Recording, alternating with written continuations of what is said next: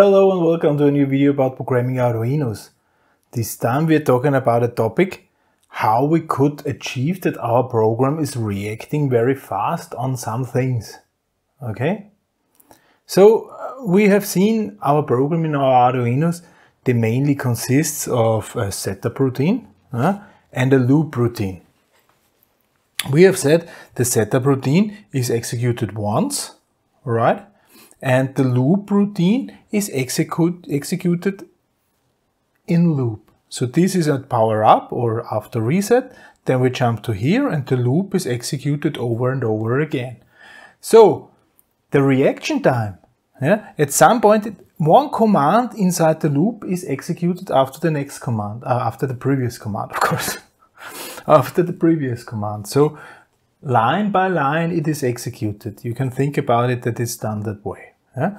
So it each execution of a of a command takes some time. Yeah. So the time evolves uh, by executing the command. All right. Let's say something externally is happening.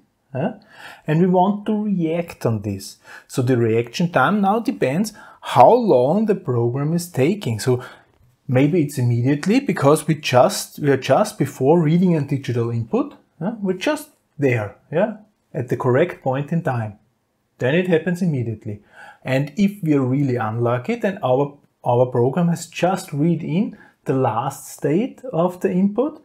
Then in the external world something is happening because the external world does not really care about our where we are in the program, right? It can happen anytime. And then it would take a whole program cycle to read it in again. So the reaction time then is pretty long. Okay? In some things, this is simply not permitted, especially if we have here loop times then, if it comes to half a second or something like this, or think about we have somewhere a delay or, you know, then we are reacting not very accurate and not very fast on a certain input. Okay? This is where a concept of interrupt, interrupt comes into into play, let's say. Yeah? So what is an interrupt? An interrupt is a piece of code. Okay? I can code anything inside there. It is called an interrupt service routine or ISR. Okay, so here is an ISR. It's basically, oops, it's basically a function. That's me, I'm the ISR. You can code anything inside this ISR what you like. The return value of this ISR is void. So there is no return. ISR. ISR means interrupt service routine. Okay, ISR. Okay, so this ISR, we can code in there something, yeah? but we're not calling this ISR. Yeah? This interrupt service routine is not called somewhere in the code. We can, but usually we don't. Okay? This ISR is triggered by something. Okay? So there is also a trigger event.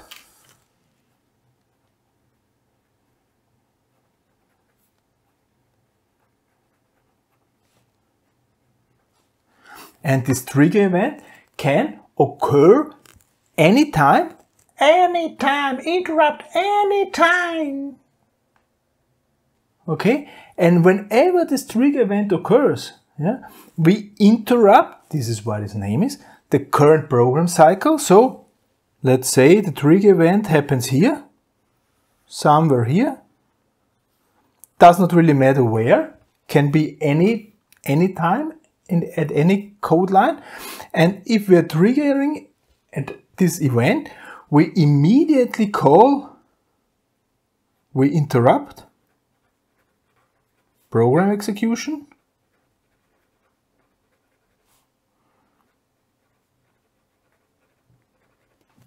Call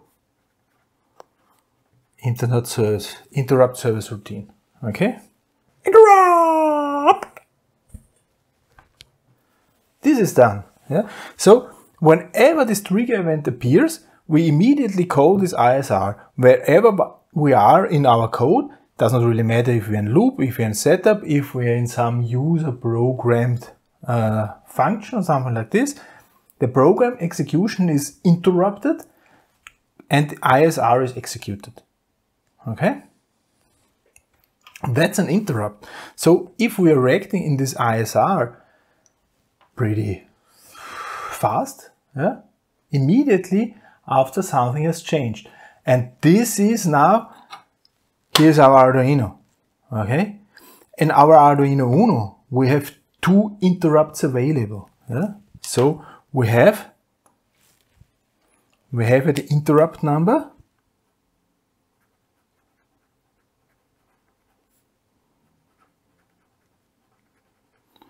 we have an interrupt number 0 and we have an interrupt number 1. Yeah? And of course, it is not that easy that interrupt number 0 is for pin number 0 and interrupt number 1 is for pin number 1. No, this is not the case. Yeah? The, according pin numbers, there are pin numbers.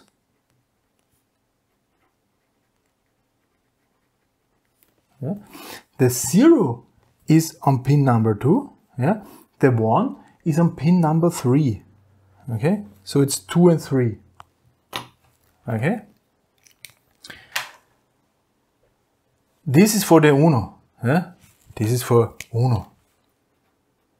On the Mega, it looks a little bit different. On the Duo, it looks different.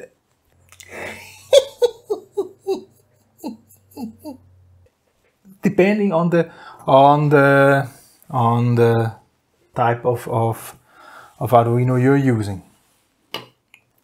Okay, and how we're coding this interrupt service routine? How do we say which interrupt we want to execute? Well, there is a command. It is called attachInterrupt.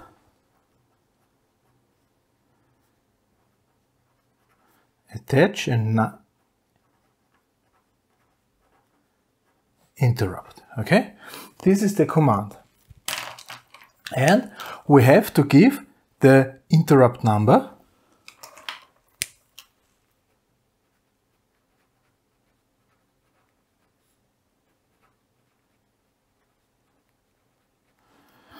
This now says if I give here 0, I will look at pin number 2. Alright? Then we have to give the internet, the interrupt service routine, ISR, the name of the function here okay? And then we have to give a so-called mode.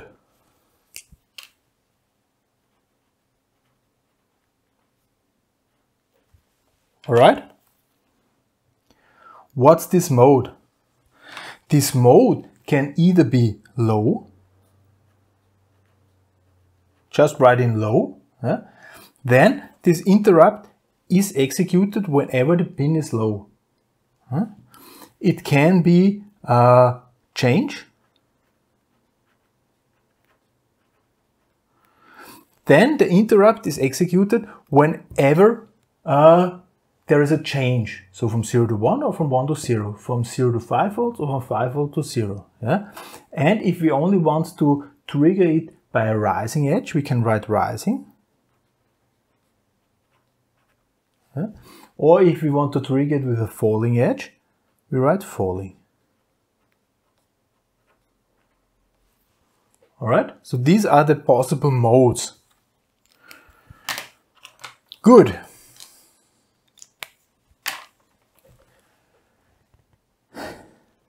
If we're coding a program, yeah, it's compiling on the UNO well. Yeah. Then we want to compile it for a mega, yeah, just the same program. And then this interrupt number here is false. Yeah? It's wrong. This is why we usually do not write here the interrupt number. There is a, a tool for this. Yeah? So we are saying the interrupt number interrupt.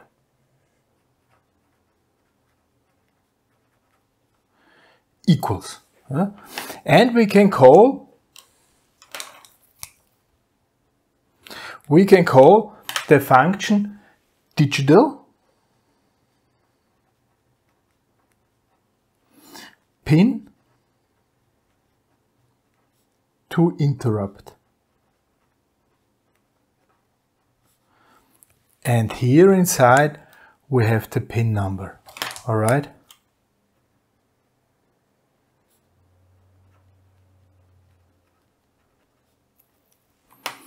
This function here gives us the correct interrupt number for this pin. So here, if I want to listen to pin number 2, I write here 2, call digitalPinToInterrupt of 2, I will get out 0, and this 0 I can use here. Alright, and if I'm compiling this at a different, for a different board, for a different Arduino board, then the interrupt number is automatically changed by this digitalPinToInterrupt because the compiler knows for which board we are compiling, right? Yeah. So these are interrupts. The interrupt will be executed right after trigger event. Okay, if the internet interrupt service routine is finished, we will return to the next command. Okay, and the normal program execution will will be done. Okay, this is also why internet interrupt service routine should be rather short. Okay, you don't want to code a lot of code inside there. Just react on the input somehow. That's it. Always short. Always short. Huh? As short as possible. That's a rule. Well, also write it here. Yeah. As short as possible.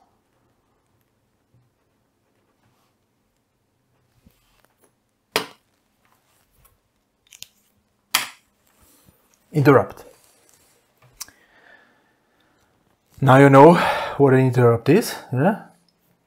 In last video we have seen that this rotary encoder had some issues. In next video we will try to run this rotary encoder with the help of an interrupt.